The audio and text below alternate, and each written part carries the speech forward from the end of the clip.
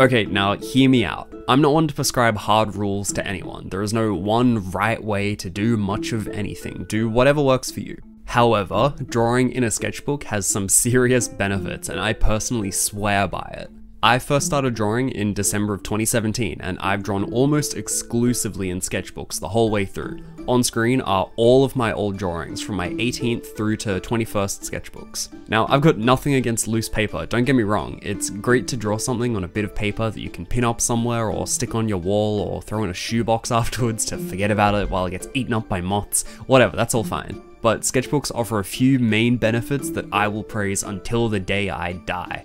I love to keep my stuff organized, and I love being able to look back over the progress I've made and see when I made what bits of art. Drawing in a sketchbook, that's all taken care of automatically. As long as you write the date down somewhere on the thing, you more or less know when you made all of those drawings. This is super important, I think, because the artist's journey is such a long one that you can quickly lose sight of where you've come from and how much you've progressed since you first got going, especially in the early days. When you first pick up drawing, since that's where you're probably going to see the most technical progress in the shortest period of time, it's super valuable to hold on to all of those scribbles, no matter how dodgy they might be. Once you've been drawing for a while, you get the basics down pretty easily, so something like drawing a clean line in one stroke at the start is really hard, but a year or so in probably isn't even on your mind anymore. At that point, your focus will have shifted to anatomy or storytelling or some other more advanced thing.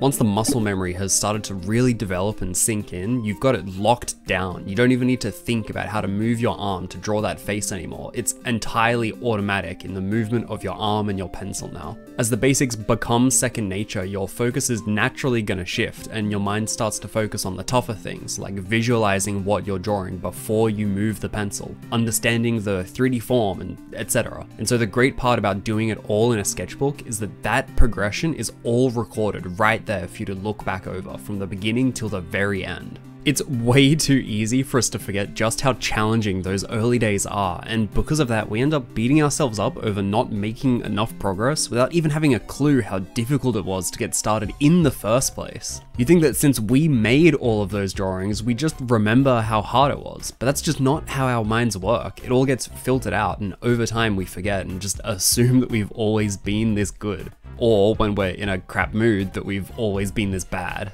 If all I had were a handful of my best drawings from each year that had gone by, whenever I looked back over my old art, I'd probably feel a lot more like I'd stagnated pretty hard. If all you keep are the best ones, then all you see is yourself at your peak, very slowly crawling higher. But after you've been drawing for a while and that progress stops being so noticeable, you'll just be left with a paper trail of uh, like your best stuff. So you're always going to be comparing your current average or low point to your previous best, where every new thing you learned was a bigger chunk of what you didn't yet know, and therefore being a way bigger chunk of the overall XP you needed to reach the level of mastery, whatever that means. If you hold on to everything though, at least for me, it's a really good reminder of just how bad those early days were, and of how slow and tough that progress really was. Obviously, I'm the extreme here though. Most people aren't going to hold on to every single drawing. But my point here is that you shouldn't toss away all the bad ones. Your old art has a lot of value too, even when it doesn't make for a pretty picture. Like if I fast forward to now, drawing is still really challenging, but it's not the act of drawing that's the hard part. I probably sound like a broken record to anyone who's seen another one of these sketchbook tours, but drawing isn't hard. There's nothing physically demanding about moving a pencil across a piece of paper. The thing that makes art challenging is your mind and your relationship with creativity, which duh, that's what we mean when we say art is hard. But if art was hard on day one and is still hard on day 2000, then getting more skill clearly isn't gonna fix that, you know? Your attention needs to be on why it's hard for you to make art in the first place. What stuff is getting in the way when you sit down to draw, or what's stopping you from sitting down to start in the first place? If I hadn't held on to all of these old drawings, I might have fallen into the endless mind trap that I just need to keep studying, keep practicing, fill more sketchbooks, tear through more paper, more pens. But none of that really matters mileage is honestly kind of overrated. Like when you're first starting out, absolutely, just draw a lot. You need to build up that initial muscle memory. But the mental skills are so much more important in the long term, and even in the short term, it's the mental skills that impact how fast you learn, how much XP you gain with every drawing that you make. It's really easy to undervalue this stuff and just focus on the grind, but if you actually want to progress fast, you've got to put more thought into each action that you take. You've got to slow down and actually take the time to reflect on the mistakes and successes that you've made.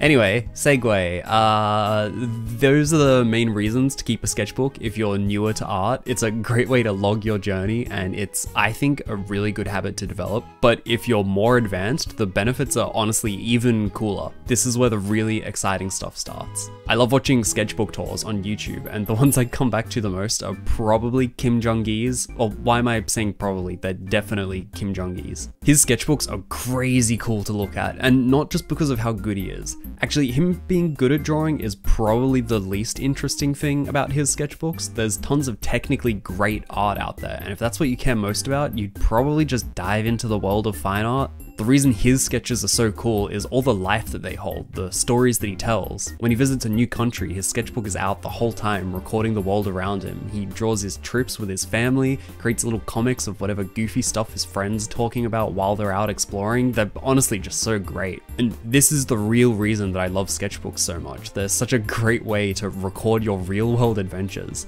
Taking photos is great. I love taking photos when I'm out traveling, but pulling out your phone can really take you out of the moment when you're out in the world. Those things are built to distract you with flashing lights and apps with logos all designed to draw you in and notifications that ding and remind you that, hey, there's something really cool going on down here. Ooh, phone bad. I'm kidding, but they are distracting. And if you had the option to pull out your phone whenever you sit down at a cafe versus pulling out your sketchbook, which one is going to be more fulfilling? With your phone, you can take a few quick photos, and that's nice, but with your sketchbook, you aren't taking yourself out of what you're doing, and you aren't risking the distraction that a phone inherently carries. With a sketchbook, you're absorbing yourself more into the world around you, which probably seems counterintuitive from an outsider perspective. Either way, you're pulling out a slab that draws all of your attention into it, but to draw what you're seeing around you and record your journey while you're out traveling or out with friends or whatever it is, it actually kind of requires you to pay more attention to what's going on around you. You've got to look for an interesting story to tell or think about the room from another angle, or even if you're not going to go that deep, it's just such a unique way to remember these moments of your life. Because if you spend 10 minutes or so creating that one picture as opposed to 5 seconds snapping a quick photo, it'll stick with you way longer, the memory will be stronger and hold way more sentimental value. And of course, you're going to be grinding out more art skill, blah blah, grind set, learn to draw, whatever. That's cool too, I guess. It is cool, it just feels hollow when there isn't more behind it. Anyway, uh, I've made other videos. Those are kind of cool too, I think, at least. Uh, maybe you should watch them. Uh, okay, goodbye.